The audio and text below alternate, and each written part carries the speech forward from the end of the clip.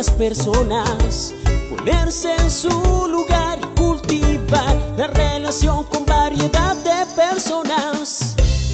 Motivación usando nuestras preferencias más profundas para encaminar nuestros objetivos, tomar iniciativas, ser eficaces y perseverar a pesar de contratiempos y frustraciones. Habilidades sociales, emociones con buenas relaciones, interactuar fluidamente con habilidad para persuadir, dirigir, negociar y resolver conflictos, cooperar, trabajo en equipo. Todos tenemos dos mentes, una que piensa y otra que siente. La inteligencia emocional es la capacidad de controlar y regular los sentimientos propios y de los demás. Recuerda, usar la inteligencia emocional asegura un buen clima laboral.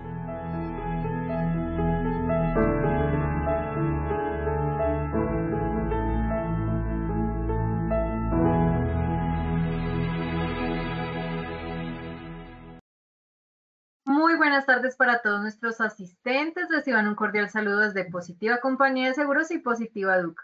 Soy Angélica Cortés, quien los acompañará en el día de hoy con la acción educativa de la Comunidad Nacional de Conocimiento en Innovación y Liderazgo en Seguridad y Salud en el Trabajo, con la temática titulada Sesión 7, Habilidades y Retos de un líder en seguridad y salud en el trabajo. Para dar inicio, le damos la bienvenida a nuestro experto de la comunidad, el profesor Rivelino Sánchez Sierra.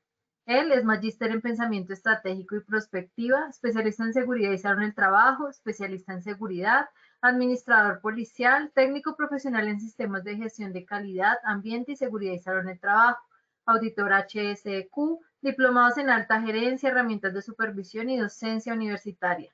Cuenta con 28 años de experiencia en el liderazgo de equipos de trabajo y de proyectos estratégicos en el sector público, autor de la estrategia 4D, un estilo de vida saludable. Lideró el sistema de gestión de seguridad y salud en el trabajo de la Policía Nacional, logrando las cifras más bajas de ausentismo laboral desde que se implementó el sistema de gestión en seguridad y salud en el trabajo en la Policía Nacional de Colombia. Profesor Rivelino, muy buenas tardes y bienvenido. Bueno, muy buenas tardes para todos nuestros líderes de seguridad y salud en el trabajo que se encuentran aquí conectados, a ti, Angélica, y a todo el equipo de Positiva que hace posible que podamos desarrollar este módulo como tal. Como ya lo ven, estoy con la tricolor, conectados con la alegría de todo un país, después de 23 años de no llegar a una final eh, en todo lo que se está desarrollando y pues tenemos que aprovechar estos momentos. Eh, la situación del país, el contexto del país, eh, se presentan muchas dificultades que estos momentos de alegría que parecen efímeros, pero son momentos que se nos convierten en dosis de alegría, en una especie de bálsamo para solventar y para poder eh, asumir todas las dificultades que se presentan en el país. Entonces, eh, muy buenas tardes. Como ya lo dijo nuestra moderadora, hoy vamos a desarrollar cada una de las habilidades que debe tener un líder en seguridad y salud en el trabajo. Habilidades que si se constituyen en los pilares de gestión de cada uno de los que me están escuchando aquí, se van a dar cuenta de los resultados que van a tener en el direccionamiento y en el despliegue, y lo más importante, en la creación de una cultura organizacional basada en la prevención de la accidentalidad y en la promoción de la salud. Pero antes vamos a darle la palabra a Angélica para que nos haga una pequeña valoración de conocimientos frente al tema que vamos a desarrollar. Por favor, Angélica. Bueno, gracias, profesor Rivelino. Entonces, vamos a dar inicio con nuestro sondeo. Le recordamos a todos nuestros asistentes que a lo largo de esta acción educativa realizaremos dos sondeos uno al iniciar y otro al finalizar. El objetivo del sondeo inicial es saber con qué conocimientos llegan nuestros asistentes y el objetivo del sondeo final es saber con cuáles se retiran. Vamos a dar inicio con nuestro sondeo. Vamos con la primera pregunta. La comunicación efectiva tiene las siguientes características. A, paciencia, perseverancia y tolerancia. B, claridad, coherencia, relevancia y asertividad. C, contexto, hoja de ruta, acompañamiento y reconocimiento. Vamos a darles unos segundos a nuestros asistentes para que seleccionen la respuesta que consideren correcta. Vamos a conocer el resultado de esta primera pregunta. Dice A, paciencia, perseverancia y tolerancia, 14%. B, claridad, coherencia, relevancia y asertividad, 68%. Y C, contexto, hoja, ruta, acompañamiento y reconocimiento, 18%. Vamos con la segunda pregunta. ¿Qué es el pensamiento estratégico? A, hacer cumplir los procesos y procedimientos B, proceso mental para supervisar y corregir oportunamente. C, proceso mental de anticipar y prepararse para el futuro. Recordamos también a nuestros asistentes que pueden realizar sus preguntas a través del chat. Vamos a conocer el resultado de esta segunda pregunta. Dice A, hacer cumplir los procesos y procedimientos 9%. B, proceso mental para supervisar y corregir oportunamente 42%. C, proceso mental de anticipar y prepararse para el futuro 49%. Vamos con la tercera y última pregunta. El liderazgo visible requiere de líderes con las siguientes características. A, pasivos, tolerantes y que deleguen responsabilidades. B, amables, colaboradores y supervisores. C, presencia activa, accesibilidad y resolución de problemas. Vamos a conocer el resultado de esta tercera y última pregunta. Dice A, pasivos, tolerantes y que deleguen responsabilidades, 12%. B, amables, colaboradores y supervisores, 7%. Y C, presencia activa, accesibilidad y resolución de problemas, 81%. Muchas gracias a todos nuestros asistentes por sus respuestas y ahora sí, entonces, profesor Rivelino, vamos a dar inicio a nuestra acción educativa del día de hoy. Ok, Angélica, por favor, solo quiero confirmar si me están escuchando en este momento. Sí, señor, te escuchamos. Bueno, vamos a dar inicio con esta frase de Jack Welch y es que habla de que los líderes crean una visión, articulan la visión la direccionan apasionadamente y la llevan a su término con determinación. ¿Quién fue Jack? Para que todos lo sepan, fue CEO de la compañía General Electric desde 1981 hasta el año 2001. Y fue una persona que tuvo claro hacia dónde debe ir la empresa, hacia dónde debe ir la organización y en este caso hacia dónde debería ir General Motors. Aquí traigo esta frase para recordarles a ustedes lo importante para nosotros, todos los que estamos conectados como líderes de seguridad y salud de trabajo, lo importante que es tener una visión hacia dónde vamos, hacia dónde nos dirigimos, hacia, hacia dónde orientamos a nuestro personal, pero también lo importante que es saber cuál es el conocimiento que se requiere para llevar a lograr esa visión, es decir, cuál es el método, cuál es la metodología, cuál es el conocimiento que debemos aplicar en cierto momento. Y finalmente, y no por ser el último, es el menos importante, es el, más importante de todo, la pasión. Visión, método y pasión. ¿Pasión para qué? Para conectar a la persona frente a esa visión. ¿Pasión para qué? Para escuchar activamente a nuestros equipos de trabajo. ¿Pasión para qué? Para fortalecernos y automotivarnos en ese sendero, en ese camino que emprendemos nosotros, los líderes SST, porque nunca las cosas van a ser perfectas, siempre vamos a tener dificultades y debemos tener esa pasión para el momento de caernos, levantarnos y continuar con la visión y con el propósito genuino de la seguridad y salud del trabajo, que es salvar vidas. Con esta frase entonces damos inicio a este temática que se llama habilidades y retos de los líderes en seguridad y salud en el trabajo. El objetivo general de esta temática es conocer las principales habilidades que deben aplicar las personas que direccionan y lideran la seguridad y salud en el trabajo al interior de sus empresas, promoviendo una cultura organizacional basada en la prevención de la accidentalidad y en la promoción de la salud. ¿Y porque siempre hablo de una cultura organizacional? Porque ustedes muy bien lo saben, líderes SST, los resultados y el impacto que generemos en nuestros equipos de trabajo, en nuestras empresas y organizaciones, no lo va a hacer solo el equipo que haya designado la alta dirección para eso en la sede principal y en las sedes a nivel nacional o a nivel regional, de acuerdo al alcance de sus organizaciones. No. Realmente el impacto y el éxito va a ser cuando podamos ese equipo generar una cultura en todos los trabajadores que hacen parte de esa organización como tal. ¿Cuáles van a ser los objetivos específicos? Inicialmente vamos a conocer las principales habilidades de un liderazgo en seguridad y salud de trabajo, aunque antes de esto quiero darles a conocer a ustedes algunos principios que debemos tener en cuenta sin interesar y sin importar si somos líderes de seguridad salud del trabajo o nos desempeñemos en otro campo, en otra área, pero para todos los líderes es indispensable tener esos principios. Ya los vamos a ver.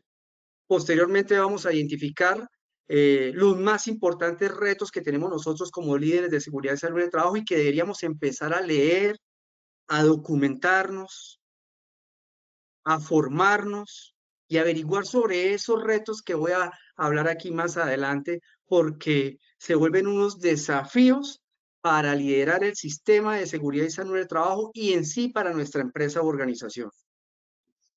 Como se nos indicaba, vamos a iniciar entonces eh, con un documento, un libro que se denomina Un liderazgo centrado en principios. Por favor, hace parte de la bibliografía eh, de esta presentación y que espero que ustedes lo consulten, se los recomiendo, por favor, es de Stephen Covey.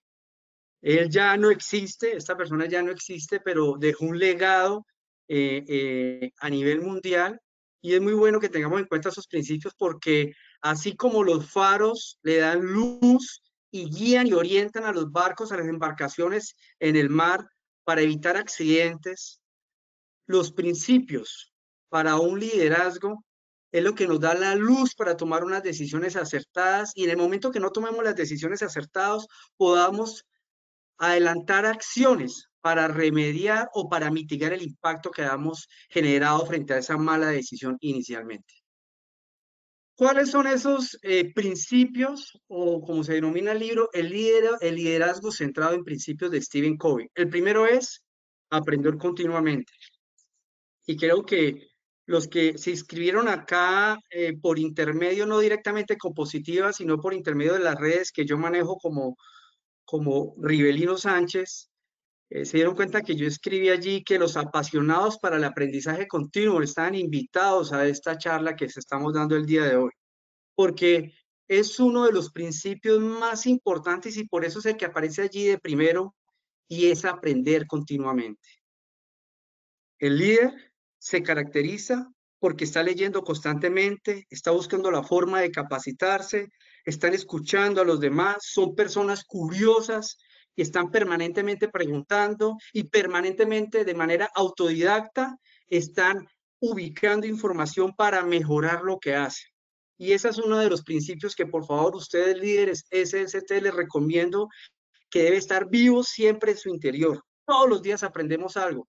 Cada vez que nosotros aprendemos algo nos damos cuenta de que menos sabemos de que hay muchas cosas que nos hacen falta por aprender y esa es una constante que deben tener todos los líderes SST y no porque lo esté diciendo yo acá, mucha literatura lo nombra. Y si ustedes ven líderes a nivel mundial, en el mundo empresarial, en el mundo militar o policial, en, en todo el tema del derecho, solo las personas que tienen ese principio y lo aplican constantemente de aprender continuamente son las que llegan allá. Segundo, una vocación para servir. Son personas que consideran la vida como una misión, no como una carrera. Y aquí quiero traer una frase muy célebre de la Madre Teresa de Calcuta, que algunos lo deben, la, la deben conocer. Es muy conocida por su trabajo humanitario, especialmente en la India, donde ayudaba a los pobres y a los enfermos. Y hay una frase que, que resume muy bien este segundo principio, donde ella dice, abro comillas, si no vivimos para servir, no servimos para vivir, cierro comillas. Creo que esa frase explica muy bien este principio de la vocación para servir. Esa vocación es la que nos da la fortaleza muchas veces cuando caemos, cuando la alta dirección no nos quiere escuchar, cuando la alta dirección no nos quiere prestar atención, cuando algo está pasando con los trabajadores, cuando se nos están empezando a incrementar los incidentes y accidentes de trabajo. Esa vocación es la que nos mantiene firmes y nos hace salir avante de esas dificultades. Tercero, principio, son personas que irradian energía positiva. Son personas alegres, placenteras, felices, con una actitud positiva, tienen un espíritu entusiasta, esperanzador, y son personas que, como son positivas, atraen también personas positivas. Hay que trabajar sobre eso. Nosotros, ciertas generaciones, trabajamos mucho sobre las habilidades duras, el conocimiento, pero hoy en día hay que trabajar mucho sobre las habilidades blandas, la inteligencia emocional. Cómo nosotros ponernos los zapatos de los demás. Y aquí hay una frase que nosotros en el ámbito policial y militar se habla mucho y también aplica para todas las organizaciones independientes las que me están escuchando en estos momentos. Y es que un verdadero líder antepone sus necesidades frente a las, perdón, antepone las necesidades de sus equipos de trabajo y de los demás ante sus propias necesidades. Por eso no me canso en decirlo, en las sesiones que hemos ya estado, los que me han venido acompañando desde que iniciamos el pasado mes de mayo, ser un líder no es fácil. Pero si ustedes, líderes SST, vienen conectados conmigo desde hace cuatro o cinco sesiones, y no solo las sesiones mías, sino también las de la demás comunidad nacional del conocimiento, de las otras temáticas que manejan, son líderes que realmente quieren iluminar a sus equipos, quieren mejorar lo que están haciendo y quieren desplegar de manera muy positiva y muy efectivamente el sistema de gestión de seguridad y salud en el trabajo. Cuarto principio, creen en los demás. Ese principio de creer en los demás hay que trabajarlo bastante. Son personas que facilitan el clima laboral al interior de su organización.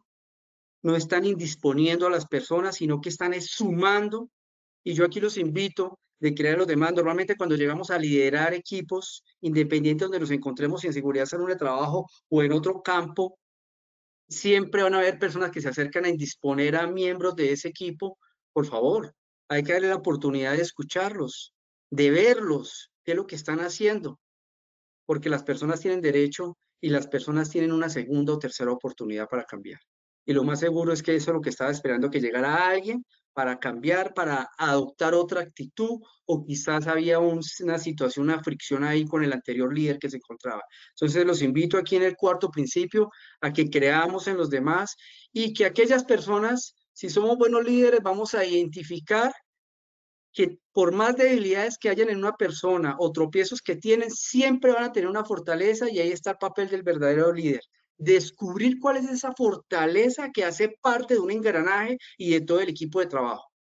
Quinto, llevan una vida equilibrada, sus acciones y actitudes son adecuadas en cada situación, son mesuradas, moderadas y prudentes, no son adictos al trabajo, pero tampoco son, se van al otro extremo, y así sucesivamente. Entonces, tenemos que tener una vida equilibrada, los líderes de seguridad y salud en el trabajo, por favor, porque nuestro equipo nos está observando. Sexto, ven la vida como una aventura, claro, son valientes, siempre quieren emprender una iniciativa, una idea, hacerla realidad. Claro, analizando muy bien el contexto, cuáles son los puntos a favor, cuáles son los puntos en contra, pero nunca están escondidos allí. Siempre quieren tener un riesgo de llevar, de seguir a ese próximo nivel y de llevar a su equipo y a su organización a ese próximo nivel. Séptimo, son sinérgicos, es decir, que son personas muy empáticas, son personas que tienen un pensamiento sistémico, conocen lo que hacen sus colegas, los líderes de los demás procesos, y saben y tienen la inteligencia emocional y las habilidades blandas suficientes para llegar y poder integrar esas capacidades al interior de los equipos de trabajo y más cuando nosotros desplegamos el sistema de gestión de seguridad salud del trabajo a los demás procesos de la cadena de valor o a los procesos gerenciales o a los procesos de soporte. Y por último, un principio que esto podría ser otra charla, otra sesión, pero quiero aquí muy rápidamente manifestarlo y es el principio de practicar la autorrenovación. Si ustedes consultan este libro de Stephen Covey, está hablando de afilar la sierra. Está hablando que usted es un ser humano, líder SST, que usted es un ser humano. Y así como usted tiene, necesita la fortaleza para acompañar a su equipo, para acompañarlos, darle el saludo, para darle la, palmadita, para felicitarlos, para ayudarlos a salir de algunos momentos de crisis que tienen los miembros de su equipo de trabajo. Usted también es ser humano y usted también va a tener esas crisis, usted también va a estar caído en algunos momentos, usted también va a tener problemas. Y aquí lo que le pedimos y lo que dice ese libro es que líder, independiente en el campo que se encuentre, trabaje sobre cuatro aspectos de su vida. La dimensión física, ejercítese, haga ejercicio físico regularmente. Por favor, aliméntese bien, aliméntese sanamente, descanse lo suficiente. Mucha gente o muchas personas dicen que duermen ocho, que es lo ideal, siete horas, pero realmente, dependiendo de donde esté durmiendo, de las situaciones, de lo que está pasando por su cabeza, realmente esas siete, ocho horas se vuelven dos, tres horas. Y hay personas contrarias que solo tienen tiempo para dormir cuatro o cinco horas, pero son personas que realmente esas cinco horas lo hacen para descansar como tal.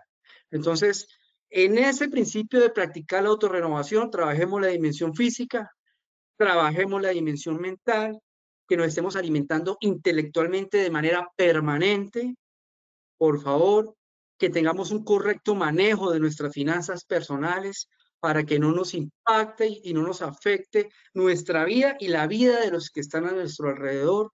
Manejemos las adicciones para aquellos que tienen algún tipo de adicción, sea ludopatía, a los juegos, sea al alcohol o a otra serie de sustancias psicoactivas. Manejarlo, por favor, para eso y manejemos también todo el tema del autocontrol.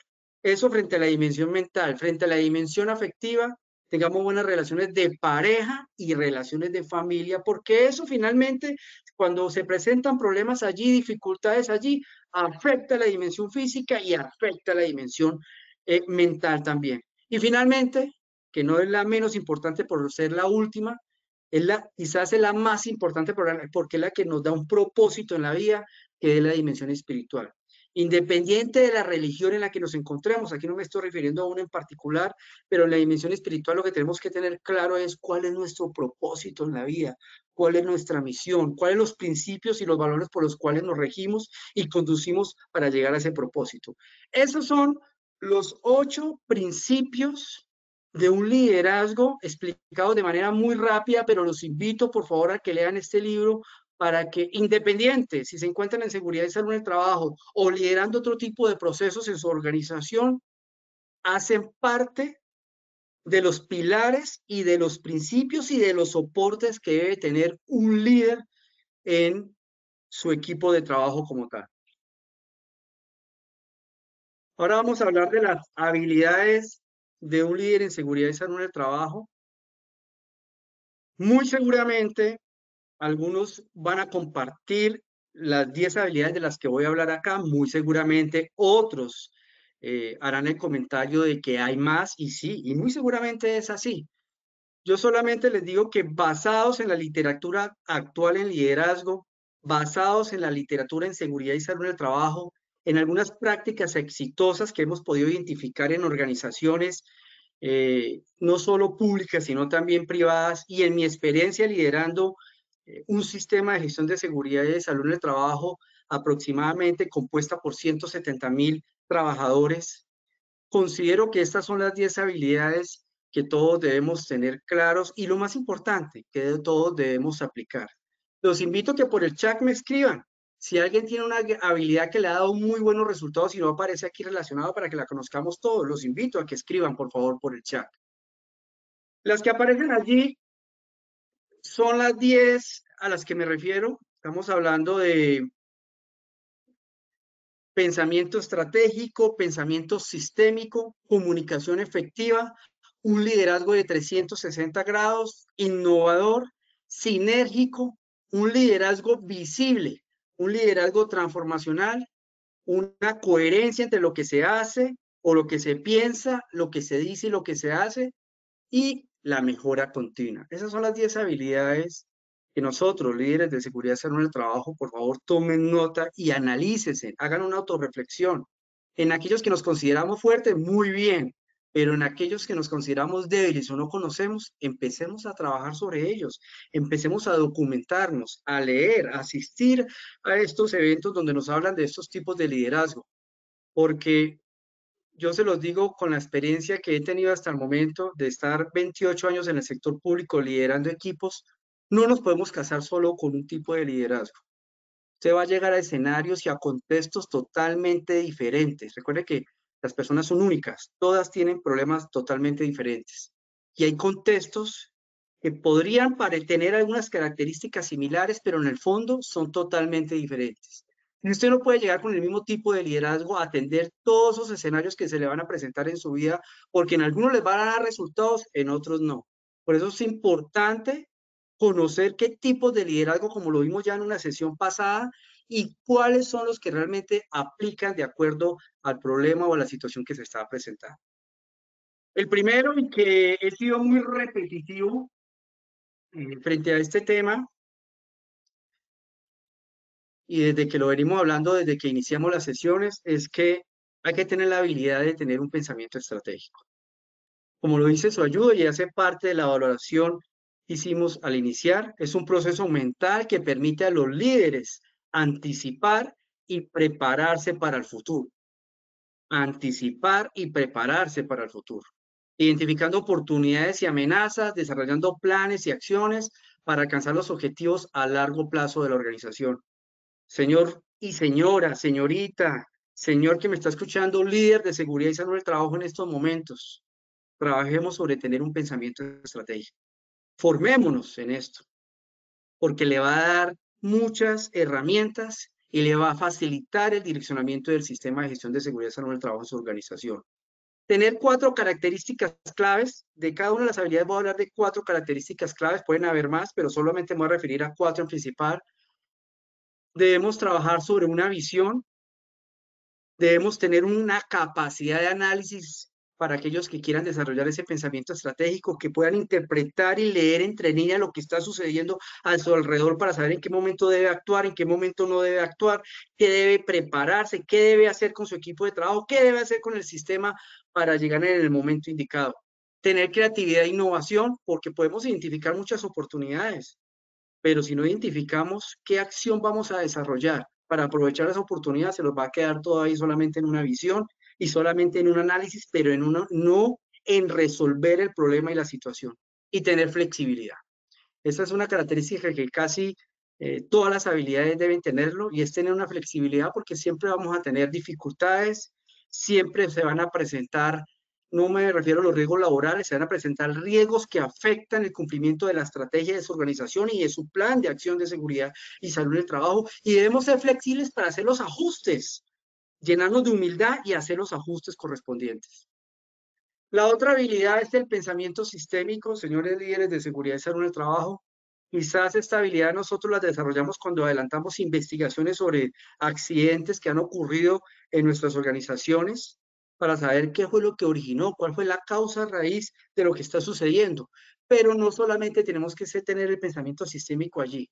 Como lo dice la presentación, es un enfoque para comprender y resolver problemas complejos y consideran que cada una de las partes en el sistema están interrelacionadas.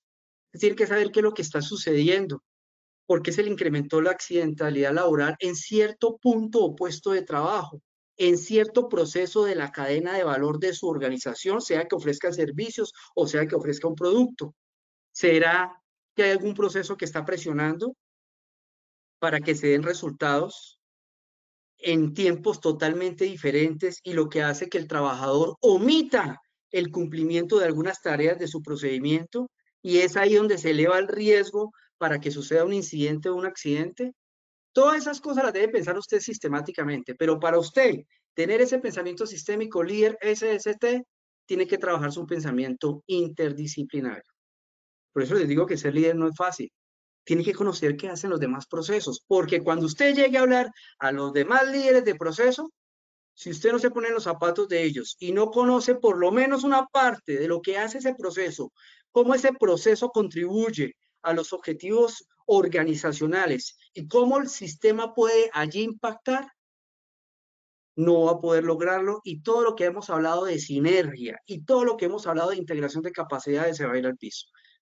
Segunda característica, tener una capacidad para identificar patrones de comportamiento. Cuando usted tiene un pensamiento sistémico, usted toma varios elementos porque usted no mira el problema como algo aislado, sino como un todo y va a poder identificar algunos patrones donde puede ser que la solución no esté en su área, no esté en la seguridad y salud del trabajo, pero recuerde lo que le he dicho a ustedes en otras sesiones, usted debe volverse un aliado estratégico para la alta dirección, que desde seguridad y salud del trabajo usted pueda observar algunas cosas que puede informarle a la alta dirección o que puede llevarle una idea innovadora a la alta dirección para mejorarlo y que finalmente eso va a impactar y va a ser transversal a la seguridad y salud del trabajo. Ser empáticos, ponerse en los zapatos del otro y adaptabilidad. Adaptarnos a las personas. No todos los líderes de los demás procesos y equipos de trabajo de los demás procesos van a ir al mismo ritmo que va usted. No todos van a ser asertivos y receptivos en escucharlo. Van a haber dificultades. Por eso tenemos que también tener esa característica, trabajarla sobre ese pensamiento sistémico que es ser adaptables como tal. Una tercera habilidad tiene que ver con la comunicación efectiva. Aquí vuelvo y repito, hay que trabajar mucho sobre las habilidades blandas. Dice que es el proceso de intercambiar información, ideas, pensamientos y mensajes de tal manera que el receptor comprenda el contenido y el contexto que quiere transmitir el emisor. Pero para lograr esto, hay que tener claridad en el mensaje que queremos enviar. Muchas veces nosotros cometemos errores, los líderes de seguridad en el trabajo, que creemos que entre el mensaje sea más largo para entenderlo, lo volvemos es mucho más complejo. En todos los estudios estratégicos, en los doctorados que existen, en las tesis que se han presentado, en prácticas exitosas, todos saben que si un mensaje se quiere enviar, entre más corto sea, va a retenerse mucho más en el subconsciente y en la mente de las personas, que ya era un mensaje tan largo donde vamos a confundir. Debe haber coherencia en esa comunicación Debe haber coherencia, por favor. Nosotros no podemos estar enviando un comunicado exigiéndole a los trabajadores que porten todos los elementos de protección personal cuando sabemos que en ese puesto de trabajo o en esa sede de nuestra empresa, organización que queda en X región, es lo que no hay, o están en las peores condiciones, o no están completos. No va a haber coherencia en nuestro mensaje y lo que vamos a generar es un rechazo de los trabajadores. Nos toca trabajar es con la alta dirección con los de presupuesto, con los de logística, para que podamos nosotros entregar esos elementos de protección y ahí sí ser coherentes con el mensaje que le queremos enviar. Si queremos enviar un mensaje de que se que estén cumpliendo todos los controles administrativos, ¿será que los controles administrativos están actualizados? ¿Será que le hemos pegado una mirada a sus controles administrativos? Entonces debemos ser coherentes frente a ese tema. Relevante, si no es información importante, el trabajador no le va a prestar atención y aquí por favor les recomiendo, ustedes saben que existen varias generaciones, la información que es relevante para un muchacho de 20 o de 21 años no es, no es relevante para un señor de 40, 45, 50 años. Usted tiene que aquí ser, focalizar y diferenciar, dependiendo del puesto de trabajo que se encuentre el trabajador, dependiendo de lo que está haciendo, cuál es la información que queremos que a él le llegue. No podemos, como ha sucedido en otras organizaciones, por ejemplo, con la estrategia organizacional, Queremos que el que trabaja en una oficina de gestión o de planeación, que se sabe toda la estrategia, los planes de acción, los valores, cuáles son los indicadores que miden, queremos que el, el que está en la línea de ejecución, el operario, conozca eso. No, no, no. Lo vas a, lo vas a enredar, lo vas a aburrir. Que queremos es que el trabajador, el operario que está allí, sepa, por ejemplo, en seguridad y salud del trabajo, qué es lo que él hace en seguridad y salud del trabajo para proteger su vida para proteger la vida de sus compañeros y para contribuir a los objetivos de la organización. Y finalmente, en esa comunicación efectiva debemos tener asertividad, por favor, mucha asertividad. Eh, uno, otro de los habilidades que se deben desarrollar por parte de nosotros líderes SST es el liderazgo de 360 grados. Este liderazgo muy sencillamente, como lo dice la, la ayuda es un tipo de liderazgo donde el líder no solo influye a sus subordinados o a sus equipos de trabajo, los que están abajo, hablándolo de manera organizacional, sino también a los que están arriba, a los superiores. Por eso tiene que tener un pensamiento estratégico para saber en qué momento debe influenciar a sus superiores, a sus líderes. Y también tener empatía para que pueda influir sobre los que están al lado de él, sus compañeros y colegas de otras áreas. Para esto, estas son las cuatro características que ustedes deben tener muy en cuenta. Aquí en un liderazgo de 360 grados es importante tener unas habilidades de comunicación, una empatía, generar confianza. Esto es importantísimo y lo único que genera confianza es su trayectoria, lo que usted ha hecho, la forma como usted interactúe con los demás eh, funcionarios o, perdón, con los demás trabajadores en sus organizaciones o en sus empresas, los trabajos que usted ha desarrollado, la respuesta oportuna que le ha dado a las personas, que ahorita lo vamos a ver en el liderazgo visible. Si usted identifica un problema, los trabajadores se dan cuenta que usted como líder de seguridad en el trabajo identificó cuál es el problema. Y ellos, usted se hace visible con ellos y les da solución, eso va a generar confianza frente a los subordinados. Y adaptabilidad que ya le hemos venido hablando eh, permanentemente. Otra de las habilidades es la de ser innovador. Como lo dice la ayuda, es el proceso de introducir algo nuevo o diferente que genera cambios significativos en la organización o directamente en el producto o servicio que ofrece la empresa. Aquí hay muchas eh, características que debemos desarrollar. Solo me voy a referir a estas cuatro. Creatividad, tener la capacidad para pensar de manera original y desarrollar ideas nuevas y únicas. Curiosidad, interés constante por aprender y explorar nuevas áreas, tecnologías, tendencias, saber qué es lo que está pasando en el mundo. Ahora con todo este tema de la inteligencia artificial, ¿qué podemos traer de allí para mejorar nuestro sistema o para mejorar el ejercicio de liderazgo? Proactividad, que sea una persona que no haya que empujarla. Un líder debe estar siempre un paso adelante frente a los demás, tener la iniciativa para actuar, llevar a cabo ideas sin esperar a que otro lo haga. Y algo muy importante, resiliencia capacidad para recuperarse y aprender de los fracasos y los contratiempos que se puedan presentar. Porque esta es una realidad que no se puede ocultar. Lastimosamente, yo quería mostrarle un video, pero no fue posible. Sin embargo, cuando lleguemos a la bibliografía, por favor, ustedes pueden tomar una fotografía. Ahí hay un link para que ustedes vean algo que se denomina salir de la zona de confort. Aquellos que ya han tenido la oportunidad de ver ese video, es video de 5 o 6 minutos, vuélvanlo a ver. Los que no, consúltenlo por internet. Es un video que le da algunas técnicas y algunas recomendaciones para usted innovar.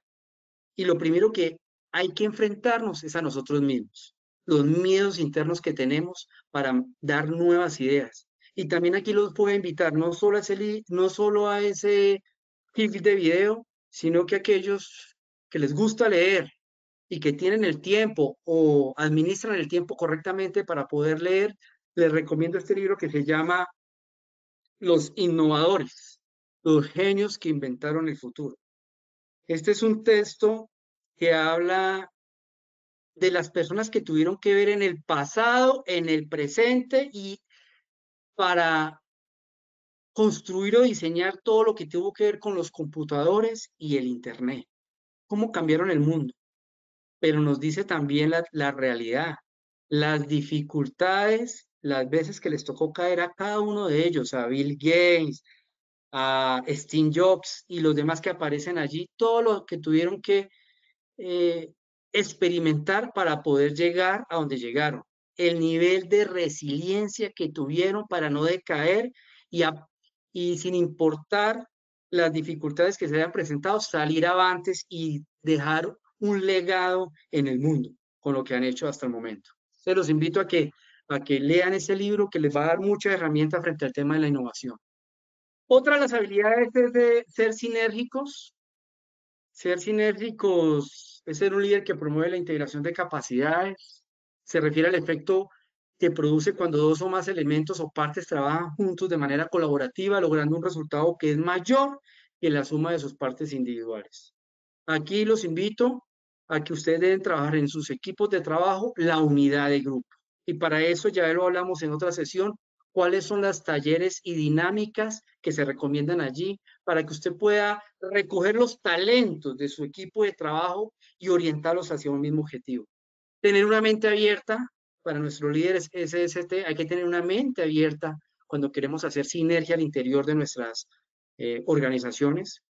Resolución de conflictos, tenemos que tener esa habilidad y esa característica en la sinergia de resolver los conflictos rápidamente y una comunicación efectiva. Los invito aquí, este libro de John Cotter, se llama Acelerar, es un libro corto, fácil de leer, donde nos hablan de cómo eh, promover la sinergia al interior de las organizaciones y lograr resultados de impacto como tal. Se los invito, por favor, a que, a que lo lean como tal. Tenemos una habilidad que es el liderazgo visible, como lo aparece en la gráfica. Creo que es bien evidente la gráfica. Es un estilo de liderazgo en el cual los líderes se muestran activos, accesibles y presentes en las actividades diarias de la organización. Estos líderes no se limitan a dirigir desde una oficina o a través de comunicaciones indirectas.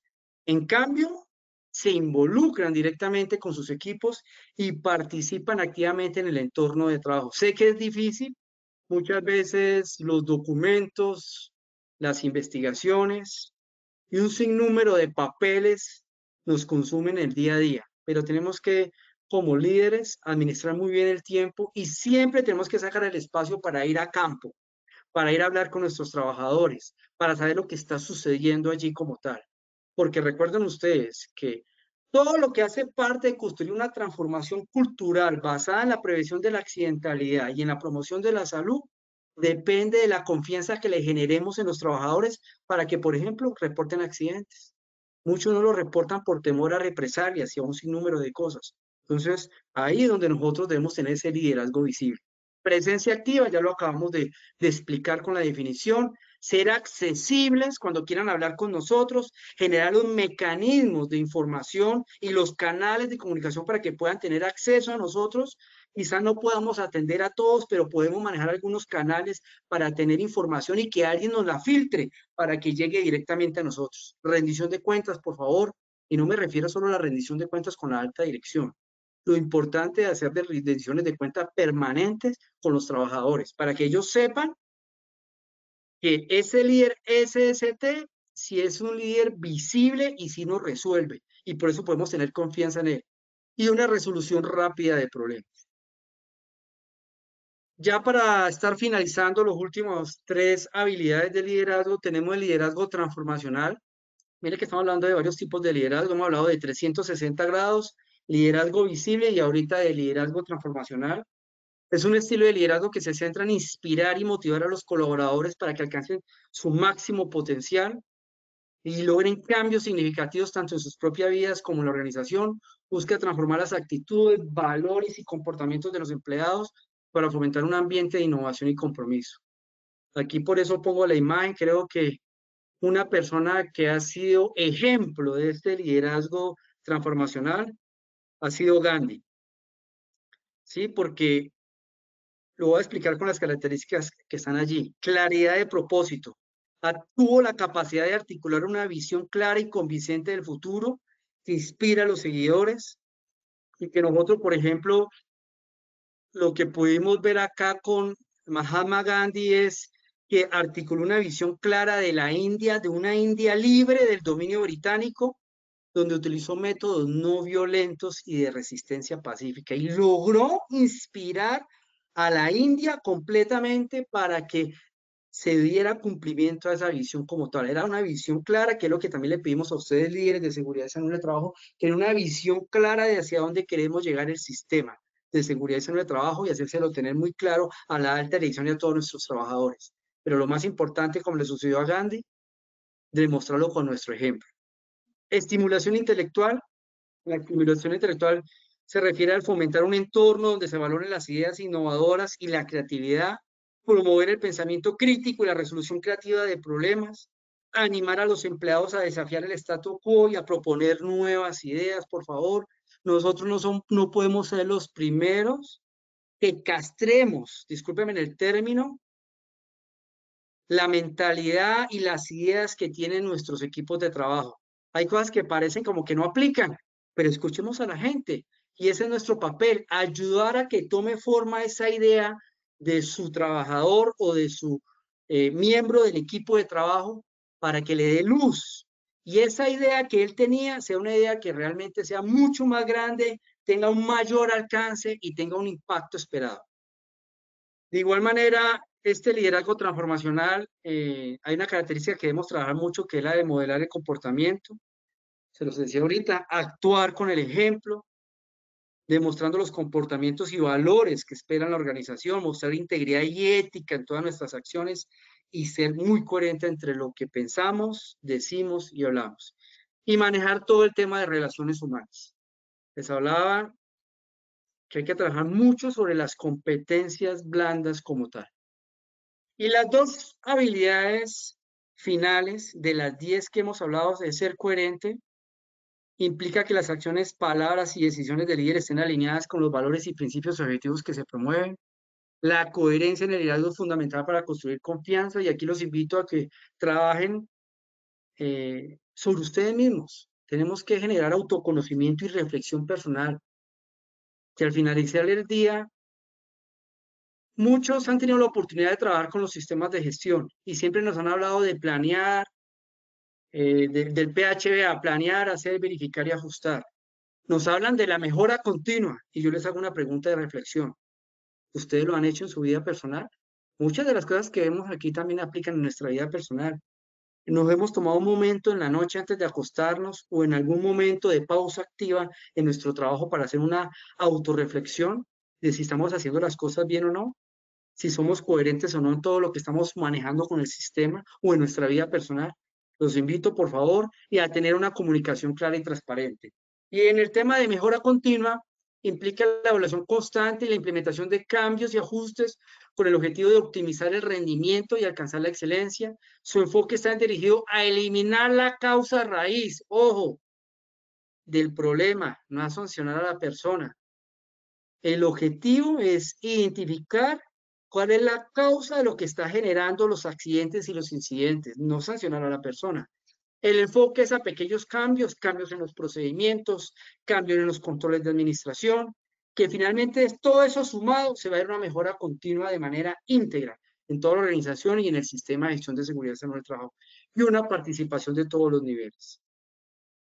La mejora continua promueve eso, que no se siente solamente el de seguridad en el trabajo y otro que estaba por ahí despistado y lo cogieron, no, envíenlo allá para que trabaje con el de seguridad en el trabajo y adelante el plan de mejora, no sobre un equipo de trabajo, sobre personas representativas, porque si son personas representativas que saben de sus procedimientos, la solución va a ser más fácil encontrarla y una solución, no como decimos compañitos de agua sino una solución que realmente elimine la causa raíz. Ya para finalizar esta presentación, acá hablamos de las ocho principios que debe tener un liderazgo. Hablamos de las 10 habilidades que debe tener un líder en seguridad salud en el trabajo.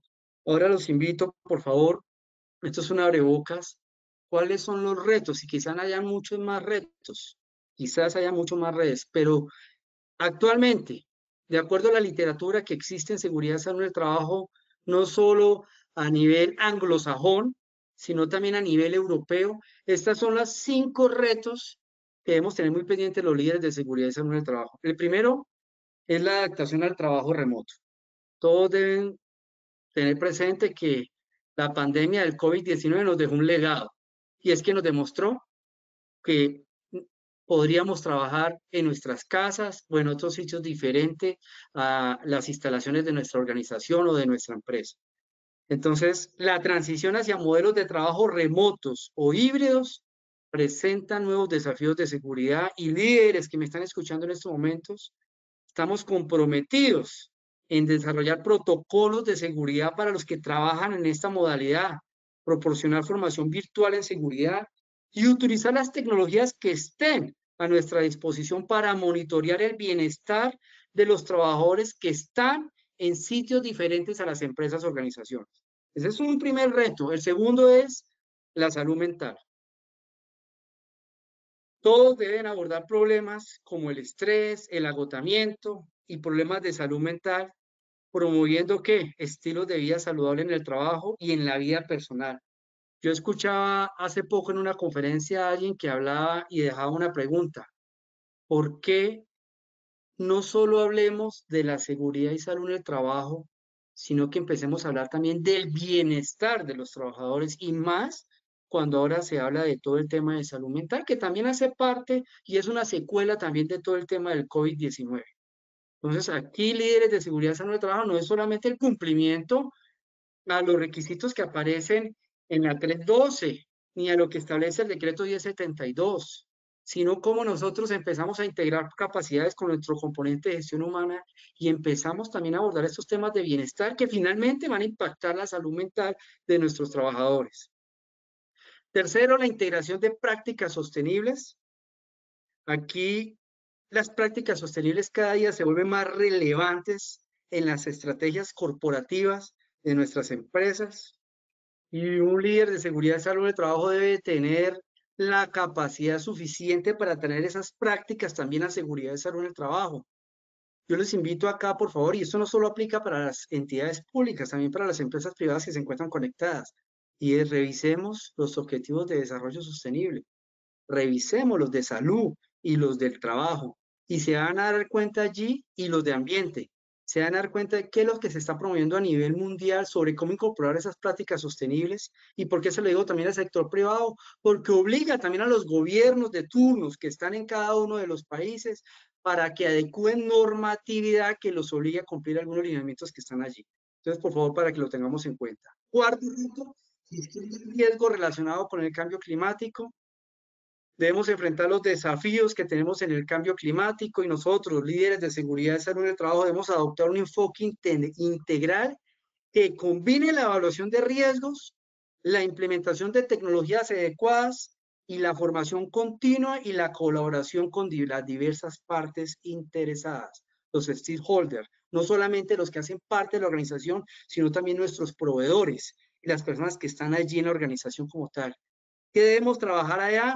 Trabajar sobre los análisis de vulnerabilidad, trabajar sobre las mejoras estructurales, porque ustedes saben que cuando hagamos un análisis de vulnerabilidad, podemos darnos cuenta que tenemos algunos sitios que son vulnerables a inundaciones, a huracanes y, a olas de calor y así sucesivamente. Entonces debemos tener muy claro esto unos sistemas de alerta temprana y desarrollar programas de capacitación.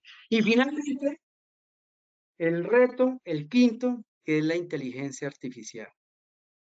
La inteligencia artificial está transformando el campo de la seguridad y salud del trabajo y así como nos ofrece nuevas oportunidades, también nos está dando unos importantes desafíos que no nos podemos quedar cortos frente a todo este tema de la, de la inteligencia artificial.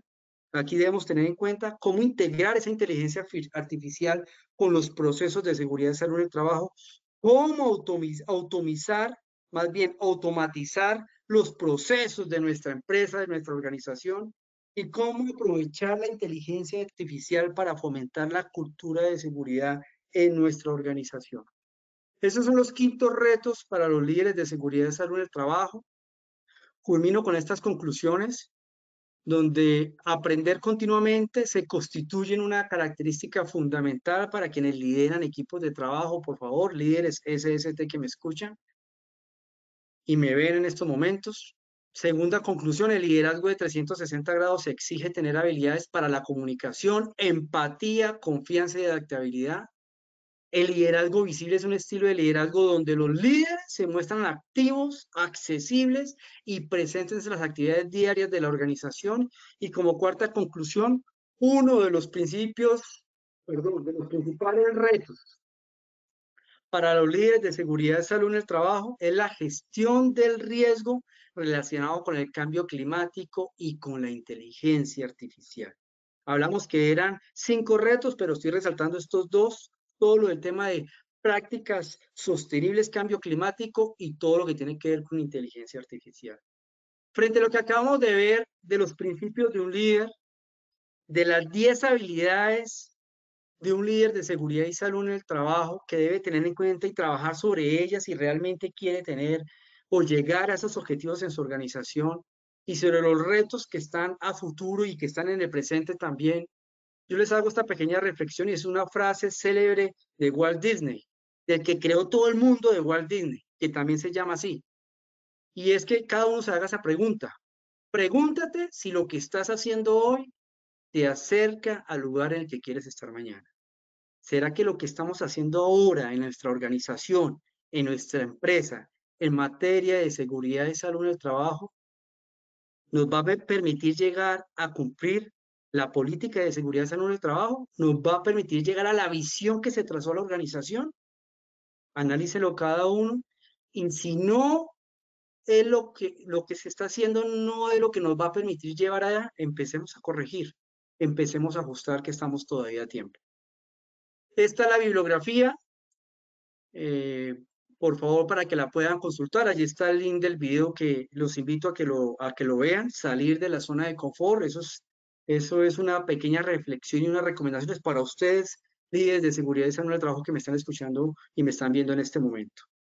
Entonces, Angélica, no sé si tenemos alguna pregunta antes de iniciar con el test evaluativo.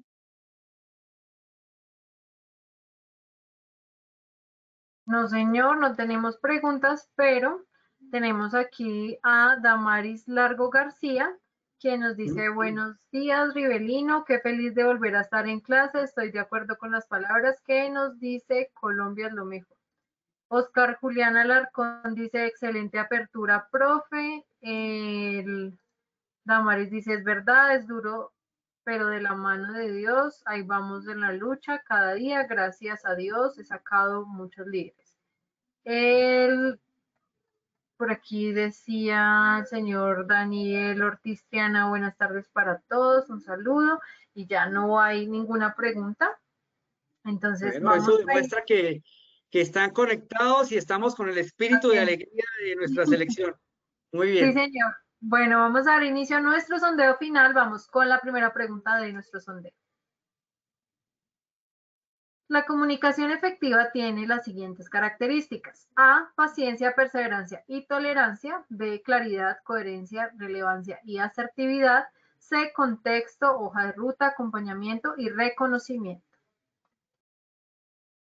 Bueno, vamos con los resultados. Dice A, paciencia, perseverancia y tolerancia, 2%. B, claridad, coherencia, relevancia y asertividad, 89%. C, contexto, hoja de ruta, acompañamiento y reconocimiento, 9%. ¿Cómo nos fue, profesor? Bueno, Angélica, eh, no, muy contento. Eh, pasamos de un 68% a un 89%, es decir, que hubo un incremento de 21 puntos porcentuales. Eso quiere decir que tenemos la mayoría, el 89% tiene claro que cuatro características de las principales para tener una buena comunicación efectiva es ser claros en el mensaje, coherentes, relevantes y ser muy asertivos. Muy bien. Vamos con la segunda pregunta. ¿Qué es el pensamiento estratégico? A. Hacer cumplir los procesos y procedimientos. B. Proceso mental para supervisar y corregir oportunamente. Y C. Proceso mental de anticipar y prepararse para el futuro. Bueno, vamos a conocer el resultado de esta segunda pregunta de nuestro sondeo final. Dice A, hacer cumplir los procesos y procedimientos 5%, B, proceso mental para supervisar y corregir oportunamente 29%, C, proceso mental de anticipar y prepararse para el futuro 66%. ¿Cómo estuvieron estas respuestas, profesor? Estoy sumando acá. Tuvimos un 17% de puntos porcentuales más un 49% que contestó eh, acertadamente en la primer test que hiciste y ahora el 66%. Recordarles al resto del personal y, al resto de, las líderes SST que se encuentran aquí conectados, el pensamiento estratégico tiene esas dos características. Es anticiparse y prepararse hacia el futuro, hacia lo que se viene aquellos que contestaron el 29% que es para llamar la atención, identificar y llamar la atención. No, no, no. Tenemos que superar ese tema. Les dije, habilidades blandas, habilidades blandas. Hay muchas personas que tienen, las contratan con muchos conocimientos, con muchas eh, habilidades duras, pero el momento de interactuar, de corregir a las personas, las cosas no funcionan y se decae todo. Entonces hay que trabajar mucho sobre las habilidades blandas y por favor tener en cuenta, anticipar y prepararse para el futuro es lo que tiene que ver con la primera habilidad, tener un pensamiento estratégico para ejercer el liderazgo en seguridad y salud en el trabajo. Bueno, muchas gracias, profesor Rivelino. Vamos con la tercera y última pregunta. El liderazgo visible requiere de líderes con las siguientes características. A, pasivos, tolerantes y que deleguen responsabilidades. B, amables, colaboradores y supervisores. C, presencia activa, accesibilidad y resolución de problemas.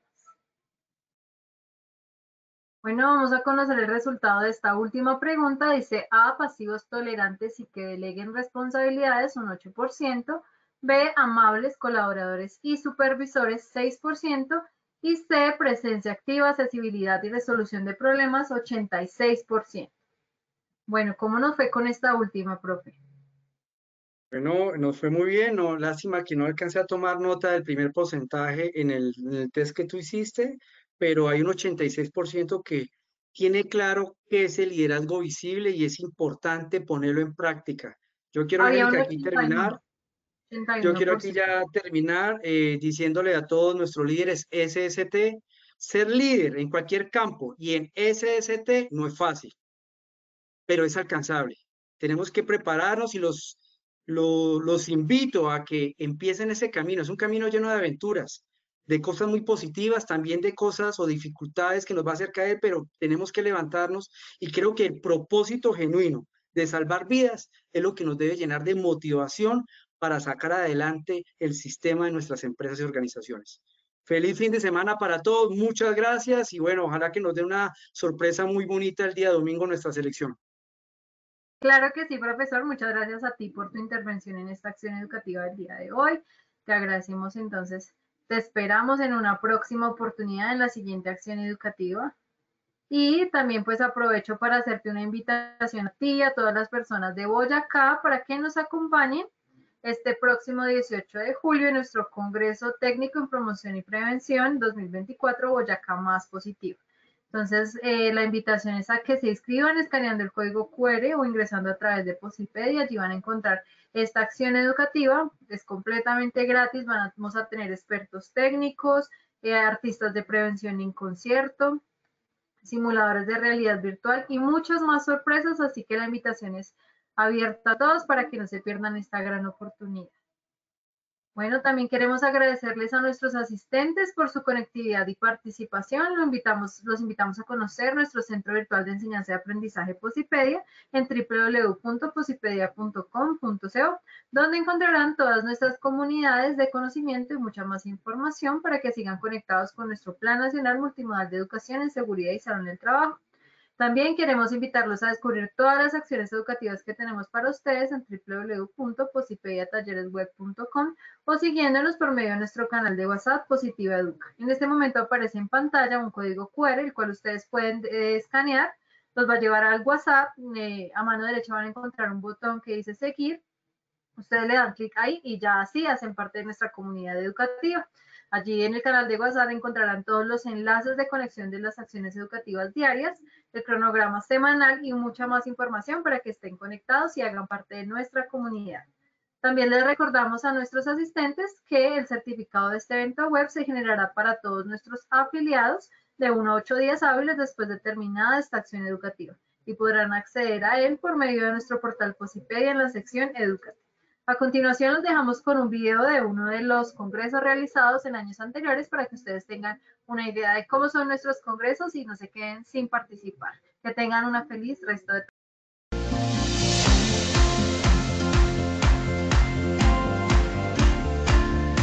Para Positiva es un gusto y para mí un honor darles a ustedes la bienvenida, generar este espacio en el que vamos a celebrar el segundo congreso Colima más positiva 2023. Tuvimos unos excelentes expositores, tuvimos una inmersión en educación de seguridad y salud en el trabajo. Gracias Positiva Educa por esta gestión tan importante en generar promoción a la salud, prevención de los accidentes de trabajo y educación para nuestros trabajadores tolimenses.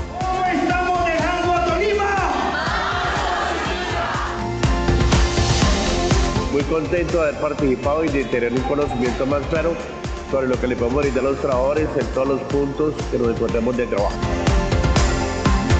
El evento estuvo a otro nivel, donde nos salimos de lo técnico, de lo normal, de lo que siempre recibes en una capacitación y donde se enfocaron más en el ser. Hoy aprendimos todo lo que tenía la plataforma de Posipedia, toda la inteligencia artificial y también las herramientas que podemos utilizar a partir de toda la plataforma de Positiva.